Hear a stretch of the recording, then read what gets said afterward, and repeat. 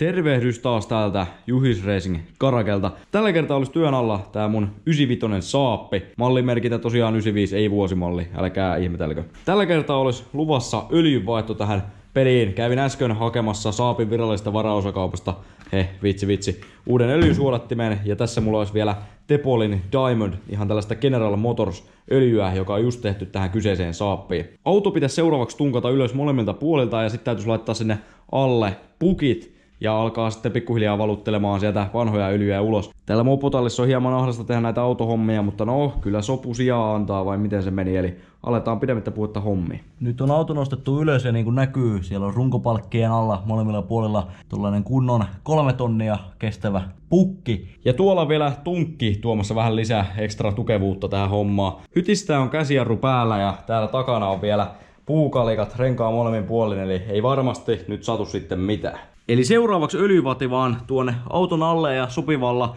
hylsyllä sieltä öljyproppu auki. En tiedä miten näkyy, mutta sieltä nyt valuu öljyt pois, eli siellä oli öljyproppu 13 millin kannalla. Otin tuolla se hylsy ja ison reikä ja väänsin. Ensin kannattaa aina miettiä vähän, että kumpaan suuntaan se pultti mahtaakaan aueta, että ei vaan väännä sieltä öljypropusta jenkoja hajalle. Vähän sitten totta kai roiskuöljyä ja öljypulttia jossakin tuolla öljyvadissa, mutta täytyy sitten vaan magneetilla onkiassa sieltä pienen nähräämisen tuloksena sain sieltä viimein tuon vanhan öljysuodattimen irti. Kannattaa aina kun asentaa uutta öljysuodatinta, niin ottaa vähän vanhaa öljyä ja voidella sillä tää O-rengas tosta ympäriltä niin se tiivistää hieman paremmin.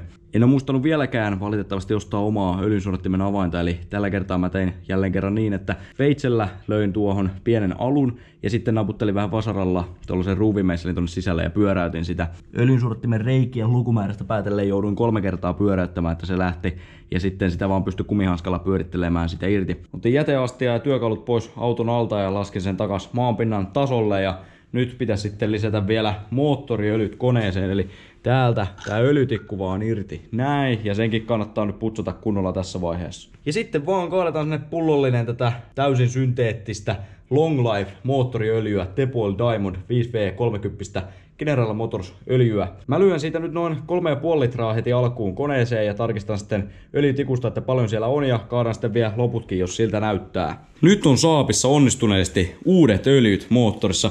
Koko purkkihan sinne meni ja öljytikun mukaan siellä on nyt oikein sopiva määrä sitä öljyä. Sellainen hauska huomio vielä tästä öljypurkista, eli täällä on aina tällainen pieni tarra, mihin voi kirjoittaa päivämäärän sekä mittarilukeman. Eli, eli tässä on viime kevään öljynvaihdostomerkintä ja tässä on nyt tuorein öljynvaihto. Eli noinkin pieni tarra voi helpottaa huoltovälien pohtimista sitten tulevaisuudessa. Eli konepelti vaan kiinni, omaiset on nähnyt niin sanotusti ja seuraavaksi Saapin nokka kääntyy kohti autopesulaa. Eli palataan joku päivä asiaan. Kiitos videon katsomisesta.